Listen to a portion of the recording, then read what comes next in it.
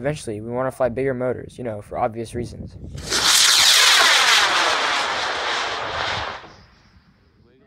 To do this, though, we'll need a level 1 high power certification to fly H&I motors.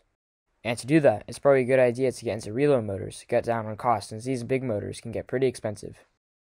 So make sure to like, comment, and subscribe since only about 35% of you are subbed. Let's get started. A reload motor is when you have an aluminum motor case that's reusable and you buy the motor itself, which is just fuel put inside a plastic liner. You put the fuel inside the aluminum casing, and after the flight, you dispose of the liner and you can fly the casing again. The aluminum casing replaces a cardboard casing on traditional Estes motors. The casing holds the pressure of the motor so the motor doesn't blow up.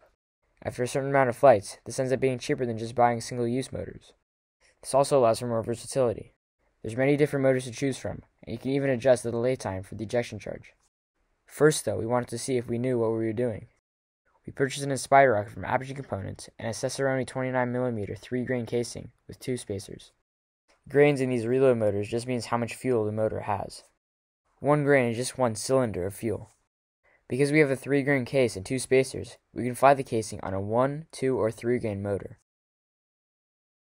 We decided to fly the Aspire on an F 36 Smoky Sam. Smoky Sam just means the exhaust is dark gray.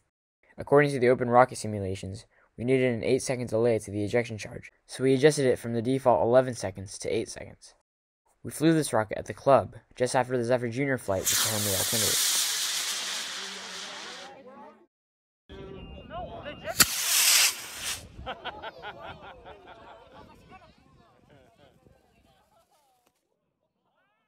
Hey, we got an upright landing.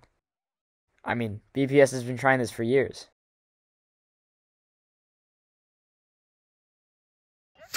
But what happened here? We believe this was caused by the center of pressure being above the center of gravity. In model rocketry, you always want the center of gravity to be in front of the center of pressure, or else the rocket will flip like it did here. The reason we didn't see this coming was because we used a 3 grain case with two spacers instead of only a 1 grain case.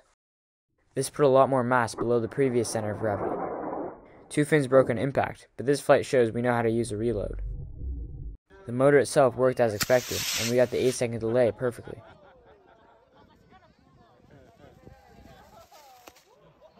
Reverse long oh. dart.